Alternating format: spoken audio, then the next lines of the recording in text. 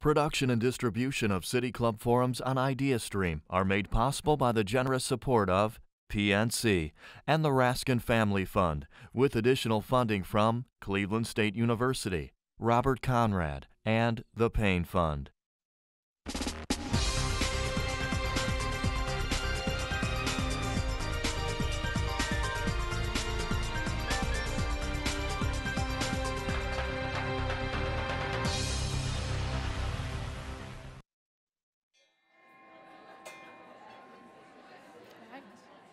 Afternoon, everyone, and welcome to the City Club of Cleveland. I'm Priyanka Chaudhry, a partner at EY, where we're proud supporters of the City Club. It's my pleasure today to introduce our conversation about leadership from a unique perspective women. At EY, we let, spend a lot of time advising clients on their business strategy, as well as how to make their operations more efficient.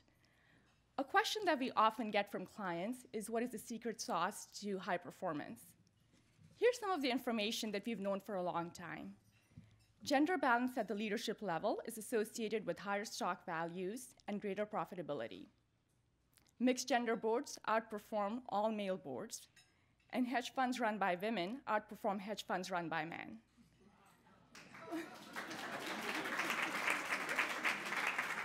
now, this is all research done by others. So we wanted to do our own research. And in 2016, we teamed with the Peterson Institute of Economics to survey 22,000 companies across the globe to study the impact of gender diversity.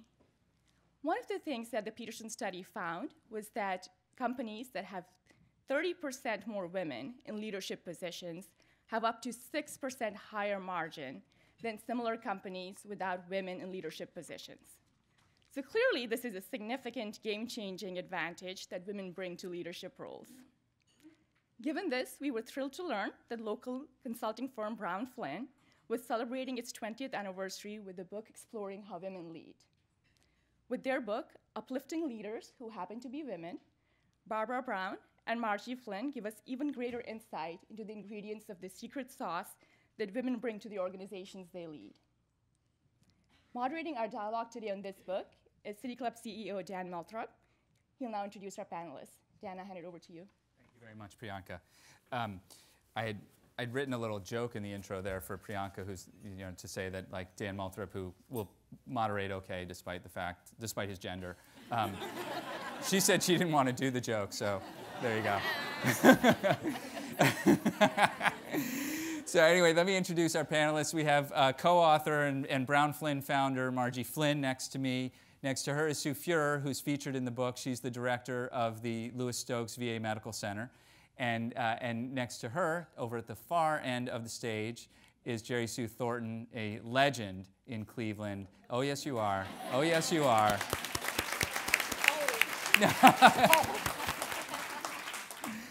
um, uh, Jerry Sue, as, as you all know, was president of Tri-C uh, for, um, for over two decades.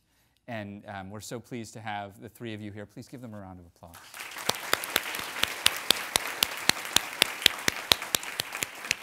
And um, so, Barbara Brown, Margie Flynn, congratulations on your on your 20 years in uh, in in, in in, in service to uh, to the economy, to corporations, to clients, to the community, to the uh, to the many bottom lines that you keep your keep focused on.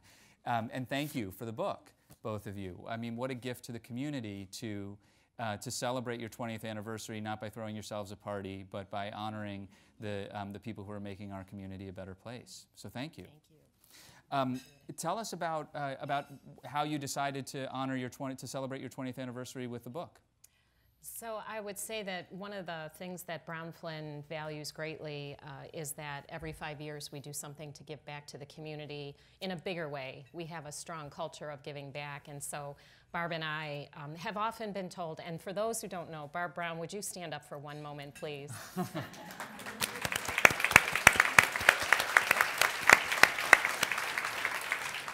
Uh, Brown Flynn and this book would not be what it is without Barb. So and um, it would just be Flynn, I guess. It would just know. be Flynn. Flynn, Flynn.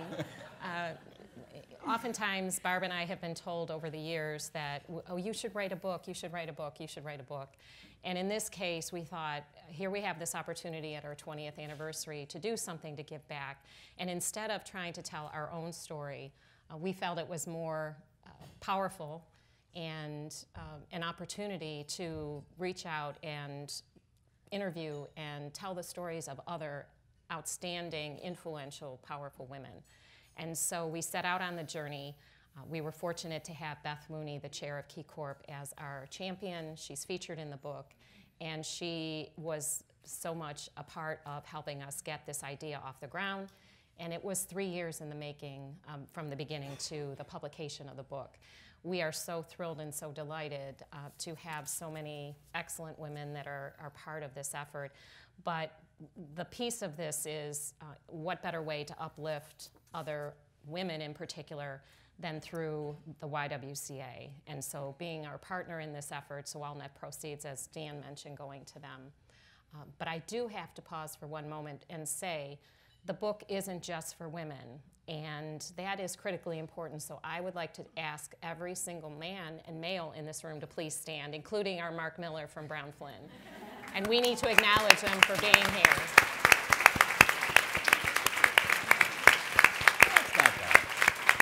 It's not bad. Um, it is a it is a challenge though with these when you know when we did an event about a year ago um, about uh, about specifically about gender diversity and, and, and pay equity in the workplace, and it was really hard to get the dudes to show up. um, um, so, but uh, maybe they're maybe they're embarrassed and they're all like tuning in on the on the live stream, dudes. Um, so. What, let me, I just want to stick with you for a second here, Margie. What was the most surprising thing for you in this, in this book? What is the thing you learned, the, or one of the most surprising things you learned as you interviewed these women who lead? Well, there's, there were a lot of surprises, and in some cases, validation of mm-hmm. things that we expected to learn. Um, I think one thing that, uh, as much as it's a book about woman, women, how many of these women cite men as a, the, the strength behind what they are today and how important that is. And so that we feel is really important. Um, and I also think that, you know, based on the title, how many of these women, including those up on this stage, uh, that they got to where they are today from really hard work and what they've done to lead organizations and companies uh, to heights that perhaps men could not have accomplished. And yet they want to be recognized just as leaders mm-hmm. uh, versus being recognized that they're women leaders. And so I think that that's, again, important for people to recognize. And I think it is, we hope, just a point in time mm-hmm. um, that a book like this won't be needed or is not something that others will be interested in 10 years from now. Maybe, I don't know about five I don't know. years there's from a. There's always, there's, I mean, it's a, it's a, it's a good leadership book, right? So it's, right. A, it's about leadership more than it's about women in leadership, but we're going to talk about both things right. today. Um, the other piece that's implicit in the title is that these are leaders, the three of you, and the others you focus on in the book, who are lifting others up. Um, right. And I know that, that for a lot of people, like the, the, the question I want to ask both of you, Jerry Sue and, and, and Sue Fuehrer, is about you know kind of what is your personal mission as a leader i think a lot of leaders think about their work and have to and, and rely on a sort of a mission statement whether that's an internally kind of aware thing or an explicit thing that you say to yourself a lot um, but sue why don't we start with you so um, obviously i'm the ceo of the va medical center and so proud of the mission the reality is none of us would be here we, none of us would have a home if it weren't for the brave the veterans of this country so I've worked for the VA for 32 years, started at the very bottom as a management intern. And my leadership mission, I believe, is I'm an administrator, I'm not a doctor, I'm not a nurse, so I don't touch patients. So I'm very much dependent on the team. And as a leader, I think you have to, the first thing you have to have is integrity. You know, if the people you lead don't feel that you have integrity, you're, you're not being transparent and honest, and of course, I come from the public service se sector, so we are certainly transparent. Um, no one's going to follow you. You have to be committed. You have to be an advocate, not necessarily of yourself, but of your team. And uh, you have to always show respect, and you have to be dedicated to excellence. You can never be willing to take the easy way out. You have to do the harder right. And so in healthcare, if you take those acronym, those letters from each letter, it's I care. And so in healthcare, we care. And um, those are the principles that I try to lead by and live by. Mm-hmm. Jerry Sue, what's your? I know you, you're, you're sort of known as the dream catcher. yeah, the company that I have now that is called Dreamcatcher Educational Consulting, and I mm-hmm. selected that because it really is about catching people's dreams and hopefully my leadership, which has predominantly been in education, but also serving on corporate boards and being involved with business and industry as well, has been about access and opportunity for people. I'm in the people business. I've always been in the people business, and education is about that, which is why I'm glad we have these students who've chosen to be with us here in Cleveland today, mm-hmm. As well as the Mandel Scholars, the students from Cuyahoga Community College that I'm so proud of. But it's about helping people find their pathways to their greatness and what they want to contribute to our country, to our state, to our city locally. And so, if we can be um, an, a pathway for that, if we can be a, an opportunity, an instrument in helping people move forward, that's really what leadership is about. Mm-hmm. It's sort of a servant leadership Absolutely. kind of model. Um, Margie, did you find as you were doing this work and the, the, the, interviews and the writing that your own definition of leadership and your own understanding of your own leadership was changing? I don't, I don't know that it changed as much as uh, what we heard were so many um, characteristics and values that mm-hmm. aligned with the values that we espouse at Brown Flynn. Mm-hmm. And so, I, you know, it, you talk about servant leadership, um, so much about empowerment, so much about, you know, encouragement, acknowledgement, all those things that help to bring a team along or help to uh, uplift others and, mm-hmm. and, carry as they climb is the, is the phrase you often hear. Mm-hmm. So I wouldn't necessarily say that uh, that led to a change in leadership as much as a reinforcement and just a reminder of all the things that these amazing women have done are things that Barb and I espouse to do every single day when we're leading our company. And mm-hmm. so I, I, think, as those of you who have read the book or haven't read the book yet, you will find uh, so many different stories of women coming from so many different places, the hardships they overcame, the challenges they overcame to get to the top, and, um, and yet they still stand strong. Mm-hmm. Jerry Thornton, your route to, uh, to leadership began in the classroom as a, an English professor, and then you became a dean, and then ultimately president of Tri-C. When you're a professor, you're kind of a you're a leader, but it's a weird sort of leadership because like because the students sort of have you you sort of just tell them what to do, and they and and or you follow, or you or you know you're like these here's the curriculum, here's the syllabus, this is what we're going to do, and there's not there's not any pushback is sort of at the student's own peril. Um, but when you're a dean, it's a very it, that that's a that's a whole other thing, right? Where you are then I mean the the standard thing you hear is that you know you're herding cats because you've got a bunch of people who uh, who like to write their own curriculum and write their own syllabus and they don't want to be told what to do at all.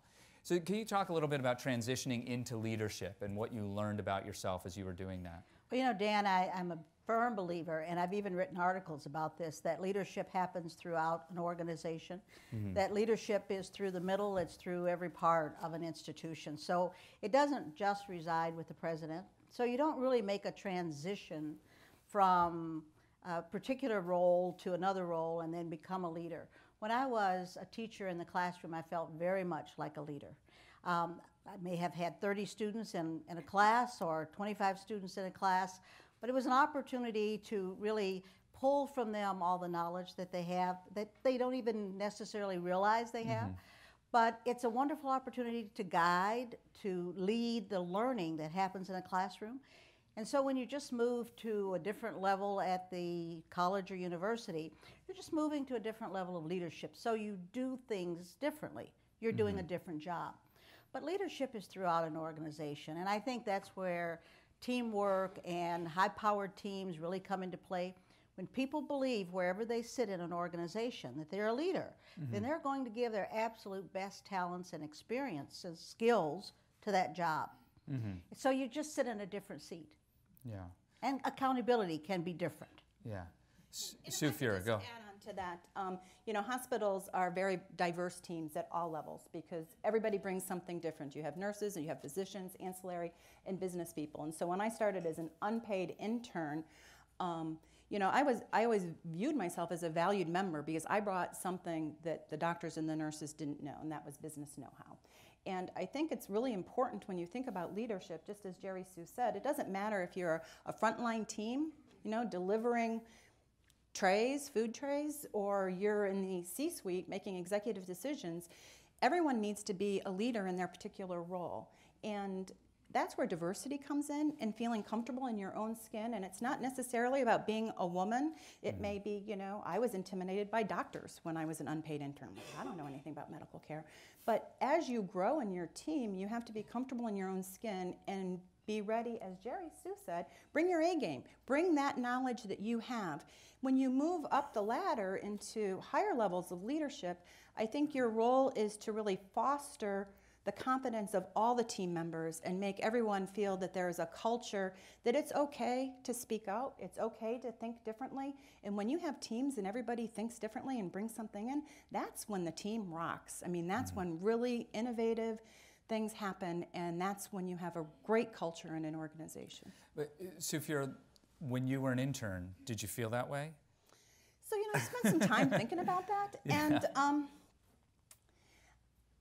I, I think that I had great mentors, many of whom were men, many who were very preeminent physicians, you know, very strong, you know, academic professors of, of college. And I think that they fostered that. So, mm-hmm.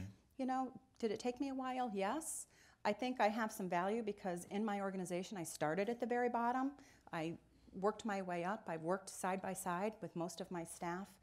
And I guess how I felt 30 years ago is hard for me to remember. I'm mm-hmm. old. but, um, you know, my, my mission right now is to make sure that those young people really, really, and I know Summer of the Cuyahoga is here, and thank you all for coming to Cleveland. I came here 30 years ago from Boston, and I thought this was a bad town. It's a great town, so come back. But um, 30 years forward, my job is to make sure those young people have the confidence, because frankly, they have a skill set that I don't have, and I depend on them to bring that skill set to our teams. It, uh, part of what it sounds like you're saying too is that like you didn't know it, but you were a leader all along. And and I know Margie, when you are a founder of something in particular, it's a big risk, and when you're doing it, you're sort of manufacturing your own confidence. You're making it up somewhat. At least, I, I mean, I don't know. I, I, I could be projecting.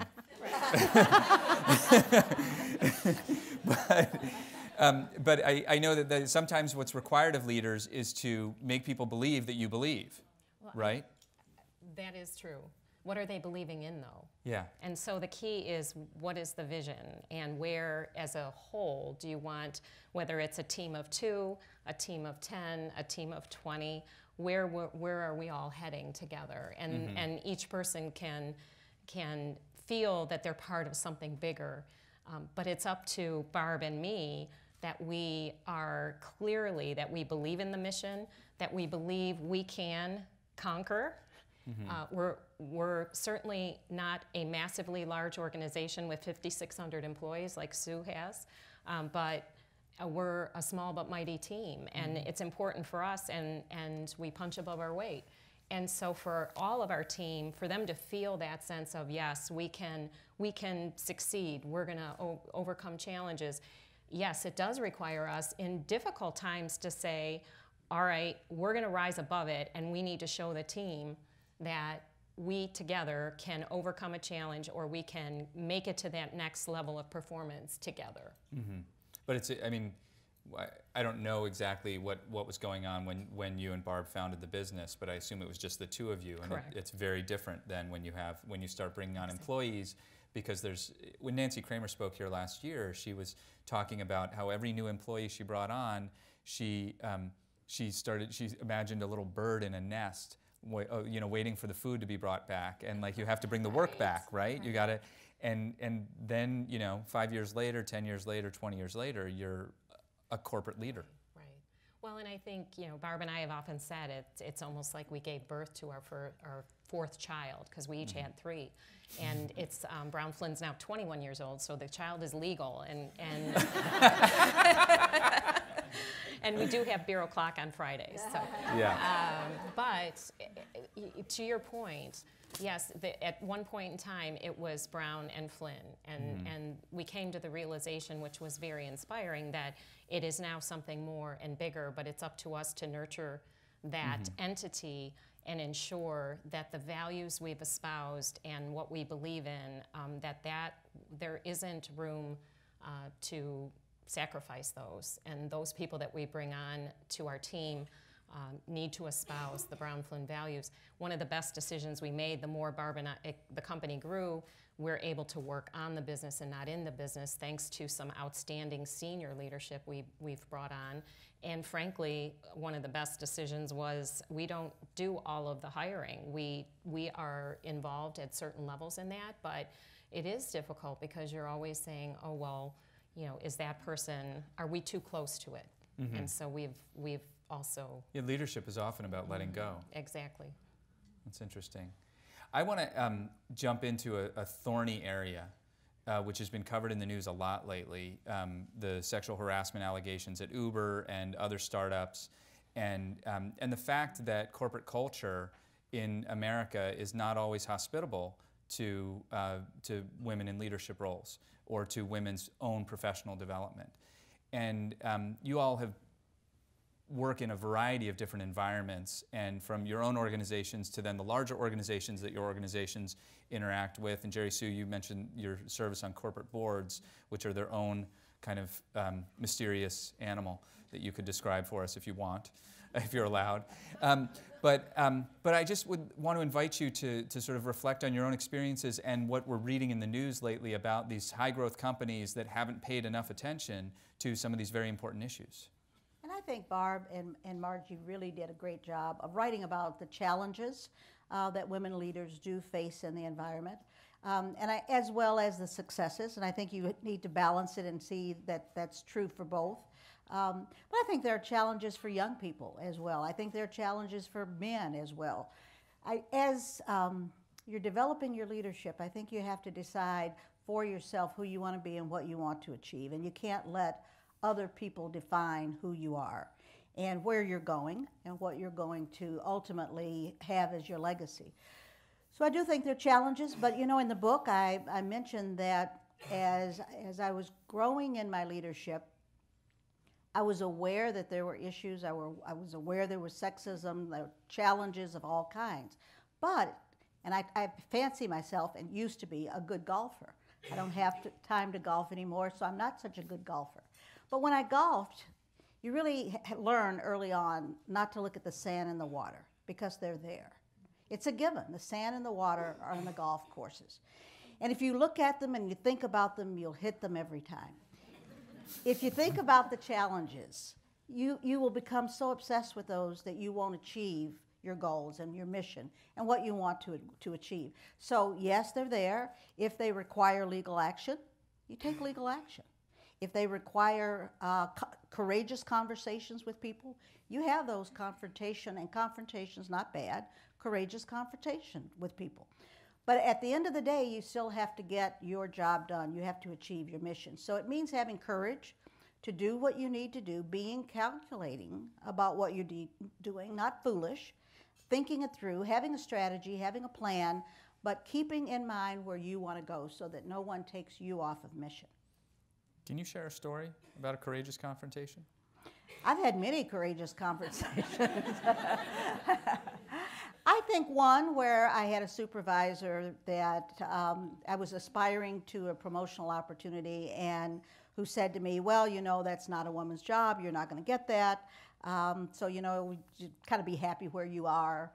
And I said, Well, thank you very much for that advice. I doubt that I'll take it. I'm not that kind of person anyway. So I'm going to keep going forward with your help or without your help. Because if I can't do it in this organization, there are other places. And so I don't feel cemented in this organization. And if there's no opportunity here, I will certainly look for greener pastures where my talents, my skills, my contributions can make a difference. So you have to be Did you say willing. that calmly and eloquently yeah, at the time? I did. I'm always. I did, as a matter of fact. I bet.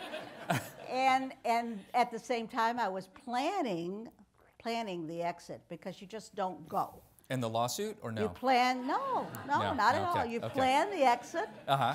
and you you again keep your eye on the target for where you want to go and what you want Mm-hmm. to achieve because those kinds of conversations can set you back if you let them if Mm. you believe and if you give power over to other people they will seize it uh, and direct your pathway but if you hold on to it they won't Margie, you, you said you had a, so a story. Uh, this goes back to when I was younger in my career, when I was in financial services, um, and I traveled a lot with the executives for the analyst roadshows in investor relations at the time, and um, never forget being in the elevator of the World Trade Center. We're heading up to an important meeting with analysts.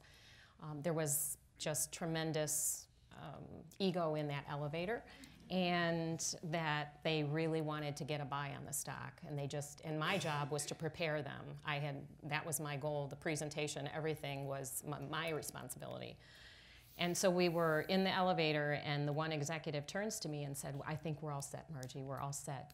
Now, all we need you to do is show them a little leg, and we'll be all set. no. And I was young, and I was, quite frankly, naive. I was a little bit shell shocked, and yet I didn't say anything. I just, because I didn't know what to say. And in today's world, I do question, you know, what, what would be the implications of that and how I would only hope that if anyone did experience something like that and or if the reverse happened, that if male or female, that they would have the courage, which I didn't have at the time, to confront or to say anything. And so what would you uh, tell your younger self to say? I would have waited until after the meeting, let the meeting be done, and would have handled it, asked for a, s- a separate meeting with mm-hmm. this particular executive, mm-hmm. and to explain that um, number one, I, I, that this was completely unprofessional, and that I'm there to do a job, and that that sh- that it should never happen again. Quite mm-hmm. frankly, I would potentially put my job at risk, maybe, but at the same time, I didn't at the time have the courage to do that. Now, I can tell you um, there was an event that Accenture hosted around Women's Leadership Day, and the book was featured. Um, and one of the women there came up to me afterward, and she said to me, um, I just had that happen about two months ago. So unfortunately, things like this still happen in the workplace, and as you Well, said, as we said, I mean, the- obviously. and the Times has And covered so it, I yeah. just think it's a matter of you know having courage, handling it professionally, eloquently, as Jerry Sue has. Um, but I didn't have that courage back then. Sue Fuehrer? So, um, what I have to say about this, and maybe maybe a little bit different. I was very naive, and um, when I started my career, I was 30 years younger. I was a lot younger and a lot thinner, and worked in a very male-oriented organization, with the exception of nurses. Particularly since all of our patients, for the most part, were male, and they were veterans, and they were older. So you would walk down the hall, and you would get looks, and you would, you know, and, and Barb has some family members that works at the VA, and so. Um, you know, you have to kind of I don't want to say pick your battles, but recognize, you know, what is purposeful and mean spirited and what is, frankly, they just might not know better or, or might be generational. And um, so as I've gone through my career, there were bosses that wanted to kiss me on the cheek every morning. You know, there was somebody that liked me to turn the air conditioner on um, to see the view. I personally, it was better, way better back then. Nobody asked me to do that now. um, but, but you know, I- my, my, I was one of, you know, three girls my family. My dad taught me I could be every, anything that I wanted to be, and I could do just about anything a man could do. So I didn't let that stuff kind of get in my way, I guess. It was like I wasn't going to bite, I wasn't going to make an issue of it. Um, you know, if you're in a male's env- male environment, they're going to talk about sports, they're going to talk about things that maybe aren't important to me. I've really um, mentored a lot of young women. Uh, certainly, generations have changed. Young women walk down the hall and the veteran will whistle or say, Oh, you look really nice, and they get really offended. And I sit down and I say, Well, you know, did, did he really mean to be mean? And frankly, sometimes I think wait 30 years and you might want that compliment again. and, and, I, and I'm not trying to make belittle that by any means, but I think for the most part, sometimes, at least from the veteran perspective, it, it's harmless. And um, as Jerry said, stick to your mission, know what, what your focus is, and, and don't get too ra- derailed. Can I, can I push back on the harmlessness thing for a second? Because I know that there's probably people listening right now who are thinking, well, the military has a sexual assault problem. And like, you know, the Secretary of the Navy addressed it when he Right. spoke here. Correct. So maybe it's not harmless? and in some cases it's not it's not harmless um, certainly um, how do i want to phrase this? Um, yeah, there are real sexual harassment. We have a huge sexual uh, military sexual trauma program at the hospital for both women and men. There's sexual harassment for men as well as women. Um, so clearly that it happens. I am not a military expert. There is a hierarchy. I think the the Department of Defense had, had for decades not realized there were a problem. There was a problem when in fact there was a problem. I think you need to identify things that Margie talked about from a superior, different from walking down the hall and there's a World War II veteran um, waiting for an appointment that says, "Gee, you look really nice today." Yeah. Um, and I guess I personally have not experienced sexual harassment in the workplace to the point where I ever thought it was important enough to move forward. Okay. Well, thanks for clarifying. It's Yeah. just, yeah, Jerry Sue. I am glad that we have women on juries. I am glad that we have women, female lawyers, because Mm-hmm. sometimes you really do have to take legal action when it's something that you think is beyond just a, a casual kind of comment. But again, as Sue said, you pick your battles, and you pick the battles where you know you have enough evidence to go to court. Um, and I've been in court before, and you have to not be afraid to do that. You, you may lose, you may win, but you have to move forward. If it's severe enough and you think that somebody has broken the law in some way, that you need to take advantage of moving into the legal system. Sue made me think a minute ago of a very funny story, and that was uh, as a young professor, among other men and women professors, and I was young. So one of the male professors said to me, Honey, would you make the coffee? And I didn't drink coffee, so I said, Sure, I'd be glad to. So I made the worst coffee in the world. and I was never asked to make coffee again. One way to handle it.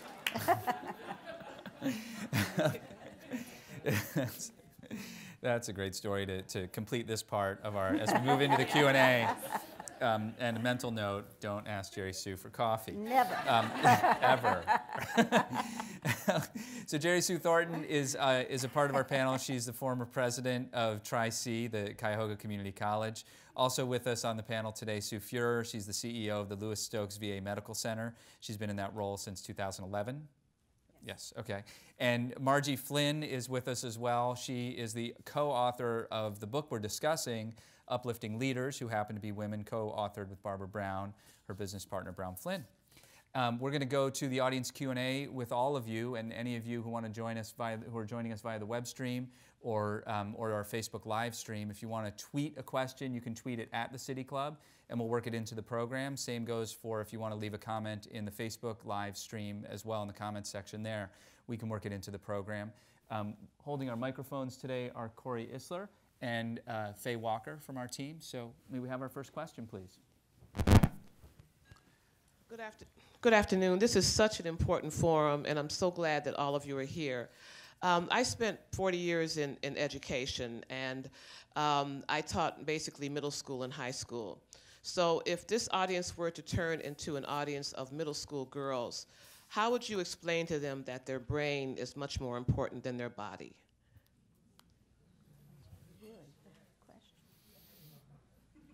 Any of you? They're all nodding.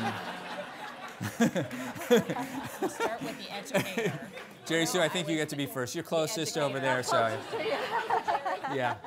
Well, you know, I, I was just thinking about it, and I think one of the, the wa- I, I'm a visual learner. So one of the things that I might do would be to show young women pictures of us over time, where our bodies change, where we look different, um, where age, like with men, things happen.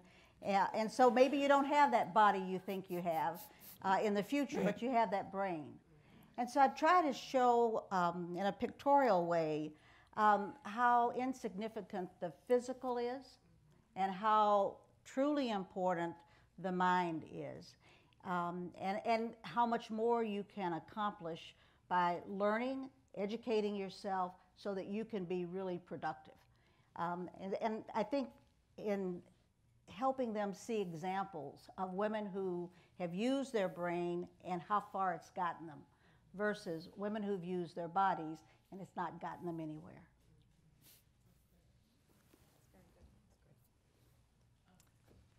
Hi, I'm Maria from uh, Ernst & Young. Uh, question, so the topic of women leadership has been around for a little bit, but it still feels relatively new. And I feel like we're here talking about trying to prove how women are great, and we're showing statistics about how women are even better sometimes than men, right? And I'm curious about your thoughts on how do we get from here to where we no longer talk about it, where it's just people professionals, leaders, whatever it may be, and we just forget the women versus men thing. So I think that that's been my philosophy, and when I was making those comments earlier, I think that I went into the job environment 30 years ago with the understanding that I could do pretty much anything a man could do, and maybe a little better. But, you know, there are people that are black, there are people that are white, there are women, there are men. Everyone comes to the table with with some sort of diversity. And I don't think we should let ourselves succumb to those stereotypes. And I think that we need to work really hard. And so when Margie and Barb came to my office to interview me, they were asking some of those questions. And I said, you know, I really never thought about, you know, I'm a woman. There's nothing I can do about it. Well, maybe. But, um, and I'm just going to go out and do the very best I can. And I am going to prove that any job that's given to me, I can do with excellence. And uh, that's what I, I stayed focused on, on. And I tried not to let some of the noise bother me. And I hope that as we move forward, we continue to do that, that it doesn't matter where you come from or how you, how you got there, you are there, and it is now your responsibility um, to be accountable and to perform. I would just add that, you know, you, you, look at the statistics today, so of the Fortune 500 companies, 6.4% of them are women and sadly, only two women of color that are leading these Fortune 500 companies. So, to your point, how do you change? How do you shift that? And how do you move the needle? And I think that for everyone in this room who has the opportunity to mentor and guide and lead and uplift others within your workforce, um, that's our obligation. And I think we, especially, this amazing young generation that's coming out of school today, um, and and they they want to be um, recognized not just because maybe uh, they were a female or okay I got promoted because I was a minority. Mm-hmm. Um, we are there to blaze a trail and make sure that those um, that are striving to move up the ladder that we're there advocating for them.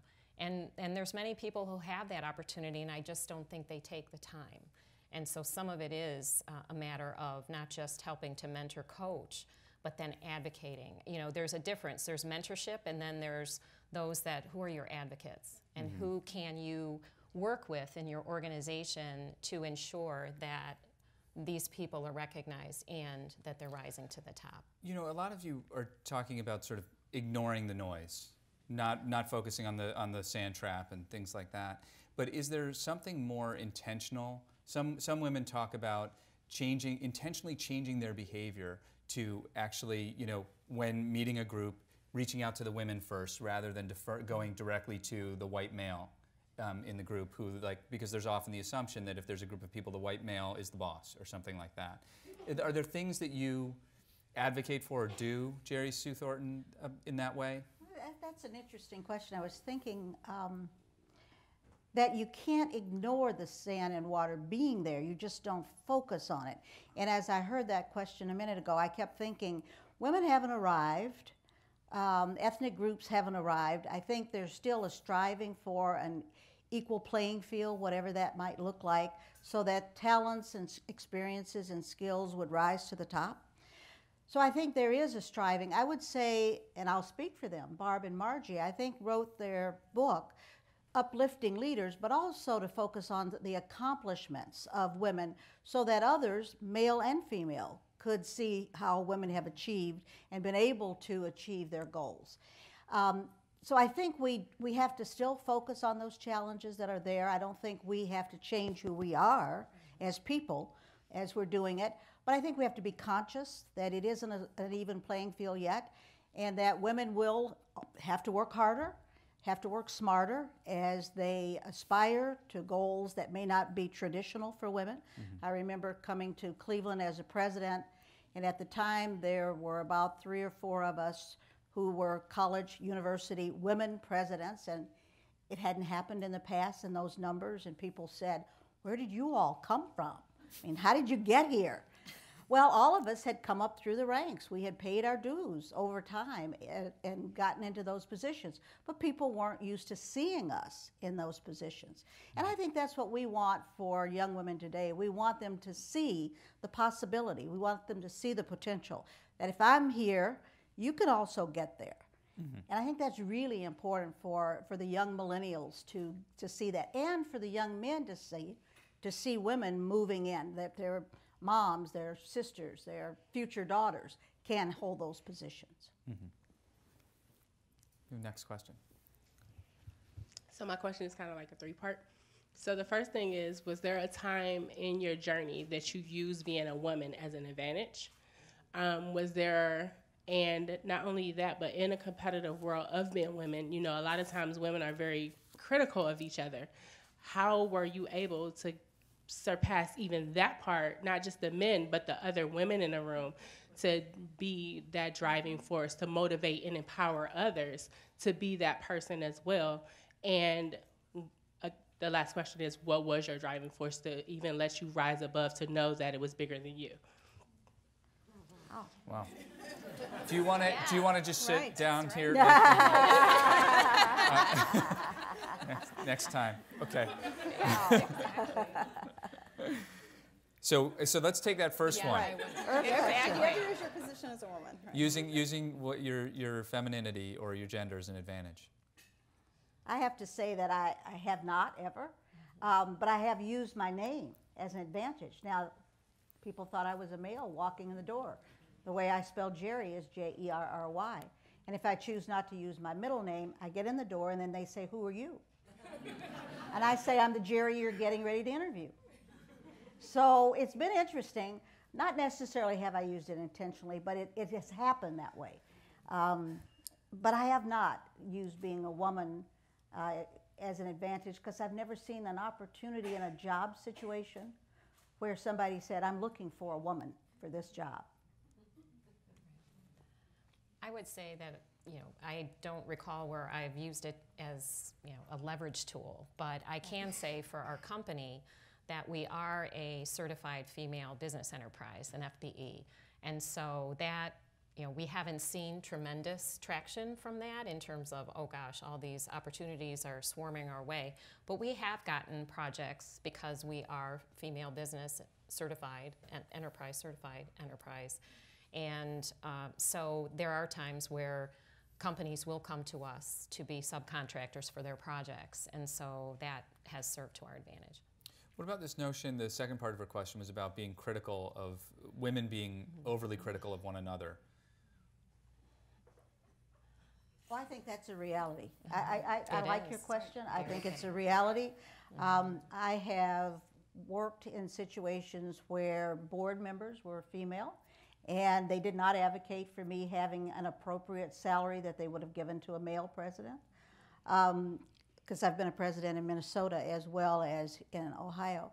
So I have seen that, and it's, it's sad. I think sometimes it happens because people believe they have to play out the roles, the gender roles, and they behave as men when they're doing that.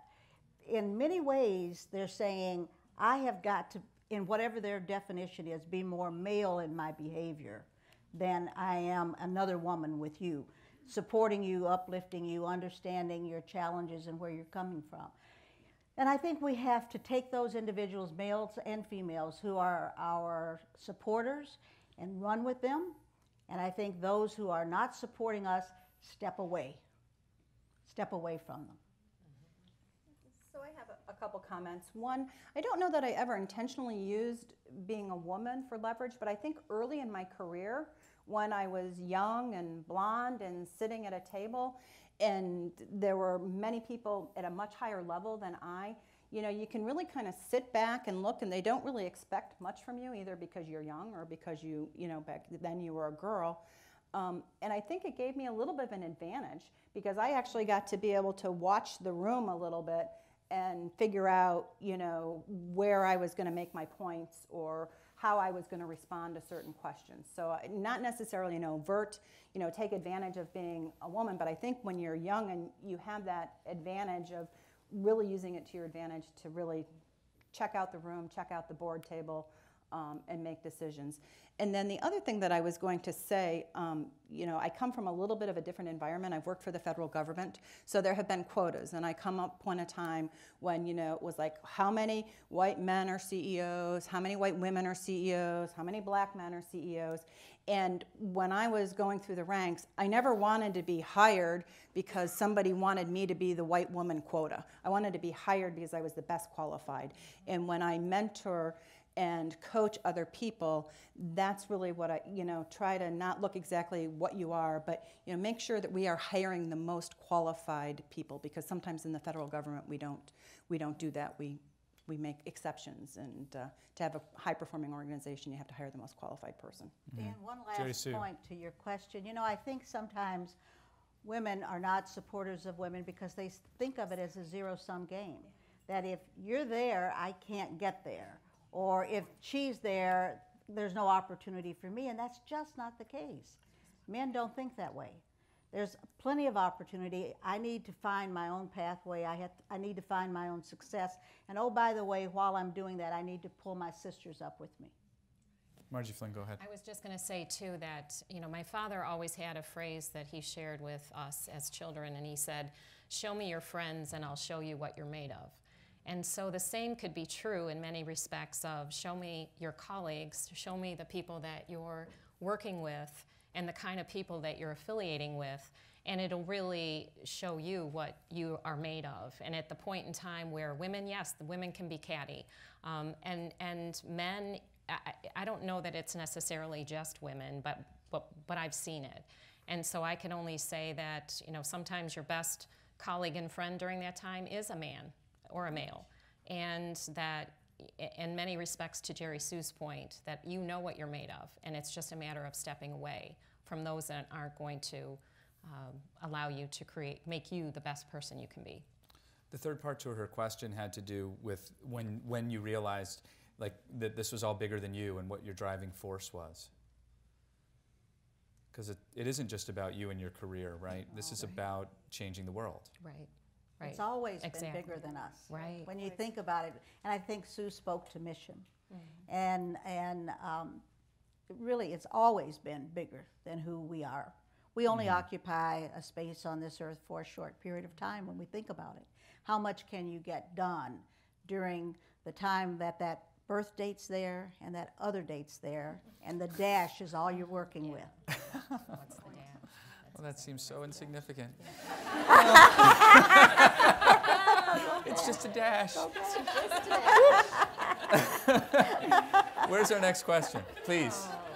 Oh, graduate in engineering. I'm learning a lot and I'm wanting to bring in fresh ideas. Can you describe a time in which you brought in a new idea and failed, and how did you overcome that in your career? So I've brought lots of ideas that have failed. Happens probably daily. Um, and I think, um, so my first um, experience with uh, Chief of Staff many years ago, I worked really hard on a paper um, about cholecystectomy, and it was a new uh, model of care at the time. And I thought that it was brilliant. And I went to his office, and he like read it, and you could tell by the look on his face. And next minute, he threw it up in the air, and he said, "It's fruit salad," and it was like, oh, I was crushed. Um, and there have been many instances when that's happened. But you know, you have to be true to your convictions and true to your beliefs. And if that tack didn't work, I mean, I went up to my office. I had a little pity party for myself for a few minutes. And then I said, You want to know what? Okay, let's take that criticism and let's figure it out. And the next time I went down there with my paper, it rocked. So sometimes you have to change your tact a little bit or change your technique, but don't give up. If it's something you believe in, and this is what I tell all my employees I mean, if it's important, stick to it. Um, but you're not going to be perfect every time either. And it may not be the time for that idea. So it may not be a bad idea, it just may not be the time that it's going to work, or it may not be this place where it's going to work. So I'm with Sue, save it, because you may have something very valuable that in the future can move forward and be a real gift from you to the company or to whomever it is that you're offering uh, that idea, that project, that, that uh, gift. So think about it in context. May not be right for this time, may not be right for this company, may not be right for this group, but I'm not going to shelve the idea and give up on it. As Sue said, was there criticism that can help me improve on the idea, to change it, to grow it in a different way? But if you believe in it and you think it has merit, don't give it up. I think, too, the other thing that um, one instance in particular, and Barb can relate to this, is um, the woman that we dedicated the book to, Mary Griffith, she was our former boss when Barb and I job shared in corporate America for six and a half years. And she was tough. She was tough. In fact, she showed us you know what it what it takes to be a great leader and there's many things that we learned from her of things we didn't want to to carry on in our leadership but you know we deliver things to her thinking we were on the right path only to receive back i hate it that's what she would write on the paper Oh. Oh. and so i would pick up the phone and call barb and i'd say oh i don't think it went over so well I don't think she liked it, but I have no idea why she didn't like it. But it forced us to, to in some cases, should we have tested or shown whatever we created to someone else in the organization before going to Mary with this? I don't know the answer at that time. Maybe Barb, you might remember. I don't know. But um, I think that's key. Is are there others within your organization that you might be able to vet some of these ideas and get a little bit more validation before you go forward? And second, depending on what company you're working with, do they encourage uh, idea sharing and do they promote, you know, we, you know, starting with a no idea is a bad idea framework, um, that's not to say that we can act on every idea. But, but more important to, if you are going to come up and try something new, we encourage our team to try things that are new. But if it's going to fail, ideally fail fast. Mm-hmm. Um, you want to know sooner rather than later, and then you move on. And so, as an entrepreneurial firm, that's core. You know that we have to have that continual idea generation. Mm-hmm. And just along those lines, you know, I don't know how you got to know, um, or you know, this isn't a good idea. Um, but as you all go through your leadership journey, um, I have learned more lessons on how not to lead examples of like I don't want to ever do this. So I don't know the specific circumstances, but maybe you know there's a lesson too for you to learn that you know I don't want to ever turn somebody down that way or say no that way, and I will figure out how to do it differently when I'm in that position. And a last sentence might be no just means no, not right now, right. but not no forever. Where's our next question? Here we go. Hi, I'm Hannah. I'm a student at um, University of Pennsylvania, but I grew up and I went to high school here in the Cleveland area, and I did debate all through high school.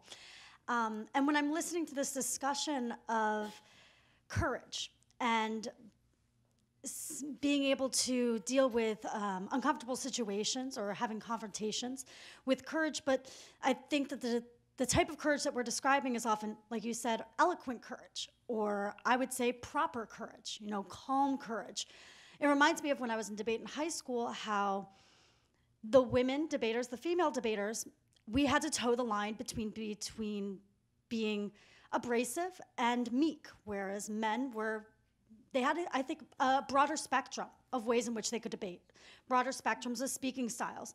Um, you know, they could yell at you for the entire three minutes of cross-ex and get no comments on a ballot card, but women would be called witchy or, you know, not a nice girl, as I often got told. Um, Good for you. Uh, and I was wondering if you guys could comment on you know, I've struggled with, yeah, that made me a much better debater. At the end of the day, I learned how to toe that line in a way that I think made me more eloquent and made me more refined in the way that I spoke. But at the same time, um, you know, I think when we look at women, or at least I read books about women CEOs and women who rise to the top of their field, those are the women that were able to toe the line.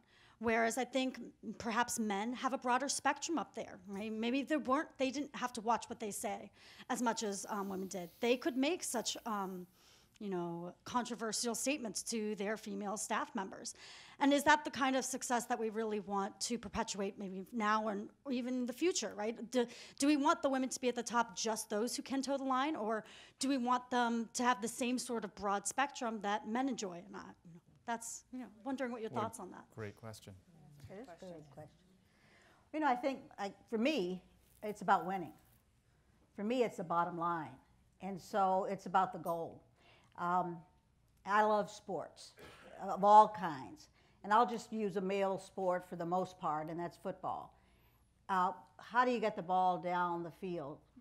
You may not be always the quar- well, it shouldn't be that the quarterback's running the ball, right? So ultimately, if you're looking at the game of life, the game of work, the game of careers, whatever it is, I'm about winning. And so, how do we win and still stay true to who we are? I cannot outdo a man. I really can't. I can't yell louder than most men. That is not who I am. And so, my winning is using my skills, my brain, my ability, my intellect to win. And I coach debate. I coached high school, uh, a boys' team, actually, of debaters in those days. And the interesting thing was, I had to kind of think like them as I was coaching them. But if I'd been coaching a group of women, I probably would have coached them a little differently because I would have wanted them to win. So for me, it's all about the goal at the end game, and it's using your best intellect, your best skills to win. So you play the game as it is, not try to change the rules right now. I can't outman a man. Mhm. It's just the bottom line. Yeah. Ladies? So, um, I always learn a lot from Jerry Sue. You know, she's so she's just brilliant. Um, so, so to come after her is kind of unfair. But you know, I think that, and life's unfair. Um, you know, I think sometimes women um, are a little bit more emotional or perceived to be more emotional when when we are debating or when we get passionate. And so I think that to the extent that you can, you know, make sure you stay to task and as, as Jerry Sue said, you know, understand the goal. Um, but you know, I say it like it is, and if somebody wants to call me a witch or whatever, you know, that's okay.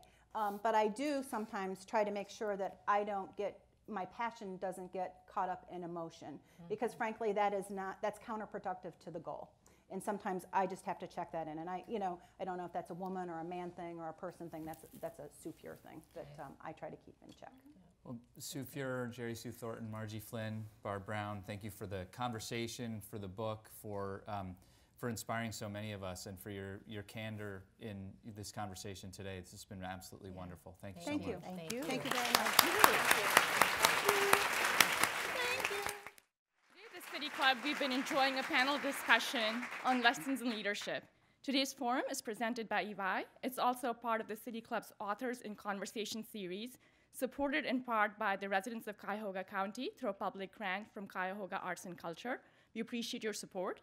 Additionally, we welcome guests at tables hosted by Brown Flynn, uh, Cuyahoga Community College, the Jack, Joseph, and Morton Mandel Humanities Center, StartMart, and the Summer on the Cuyahoga Internship Program. We also welcome students from Flow Homeschool Co-op. Student participation in City Club forums is provided by many foundations, including the William E. Wise Foundation. We thank all of you for being here today.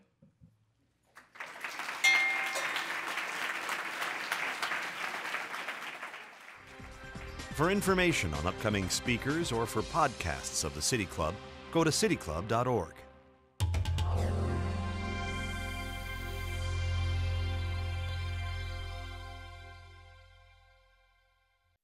Production and distribution of City Club forums on IdeaStream are made possible by the generous support of PNC and the Raskin Family Fund, with additional funding from Cleveland State University, Robert Conrad, and the Payne Fund.